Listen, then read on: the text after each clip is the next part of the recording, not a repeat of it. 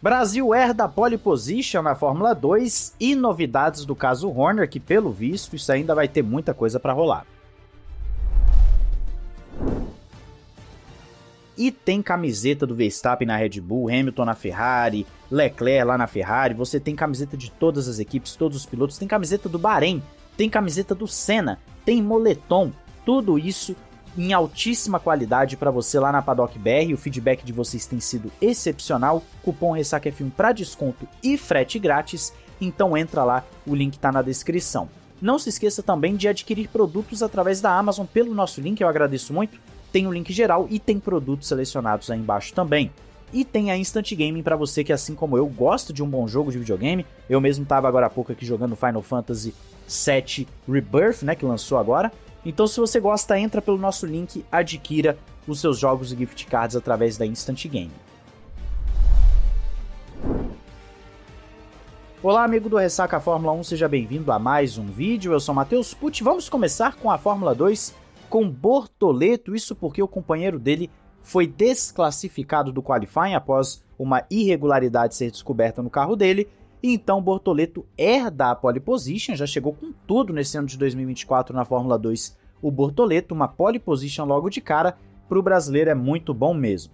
Só que não foi de má fé, pelo que tudo indica. O companheiro dele, na verdade, não é que ele ou a equipe fizeram de má fé. Parece que com as pancadas na zebra, acabou tendo um problema na altura da barra externa dianteira esquerda e com isso ficou abaixo da altura mínima exigida. Então, o ideal, na verdade, é que o próprio Bortoleto, a equipe, verifique o carro dele para que não tenha nenhum problema amanhã na corrida. Eu vou buscar assistir a corrida, acho que vai ser bem legal a gente ver a Fórmula 2, tanto por conta dos brasileiros quanto também o Antonelli, que é um nome também que está chamando bastante atenção. E para você que não viu nosso vídeo de hoje mais cedo sobre os treinos livres, dê uma olhada, nós já postamos, mostramos ali o ritmo de corrida, o ritmo de qualifying, para você já ter uma noção do que esperar para amanhã. Então agora vamos de Fórmula 1, isso porque o caso Christian Horner ganhou mais um capítulo, assim como eu disse ontem para vocês, talvez não fosse o final da história, somente o final de um capítulo, e realmente é o que aconteceu. Hoje fomos surpreendidos por vários jornalistas citando que receberam um e-mail com supostas evidências do caso Christian Horner. Essas evidências seriam mensagens de WhatsApp do Christian Horner com a tal funcionária. Num primeiro momento, os jornalistas se mostraram um pouco amedrontados para poder abrir, né? Porque nunca se sabe se é um belo de um vírus. Só que alguns detalhes começaram a chamar muita atenção antes mesmo que o conteúdo fosse revelado para o público. Primeiro, a pessoa que vazou, que fez isso de forma anônima, tem o e-mail de muita gente grande do universo das corridas. Mandou esse e-mail para mais de 140 pessoas, e essas 140 pessoas são jornalistas da Fórmula 1, os chefões da Fórmula 1 da Liberty Media e também o pessoal de alto escalão da FIA, incluindo o presidente. Ou seja, a pessoa quer mesmo ferrar o Christian Horner de todas as formas possíveis. E provavelmente é alguém de dentro ali desse mundo do automobilismo, de dentro ali do mundo da FIA, da Fórmula 1, porque para ter o e-mail de todo mundo assim, e mandar especificamente para essas pessoas logo no dia seguinte ao parecer da Red Bull sobre o caso e no primeiro dia de, de temporada, efetivamente, da categoria, essa pessoa fez tudo muito bem pensado para chamar atenção, então deu uma ofuscada nos treinos livres. E você se pergunta então qual é o conteúdo dessas mensagens. Eu não vou reproduzir aqui para vocês, porque tá tendo uma conversa que já tá saindo aí nos sites que já tem advogados falando que os sites britânicos que divulgarem serão processados. E aí você já viu, né? Isso pode se alastrar para o mundo inteiro e eu, particularmente, não quero ser processado, então não vou divulgar aqui as imagens em si, né? Eu cheguei a ler uma mensagem ou outra, e a minha opinião, lendo essas mensagens, uma ou outra, é a mesma que as pessoas estão compartilhando aí na internet, que é o quê? As mensagens por si só não têm assédio nenhum, tem nenhum crime ali no máximo você vai falar que é imoral da parte do Horner trair a sua esposa, porque as mensagens são de teor mesmo romântico ali com uma outra pessoa, com a mulher.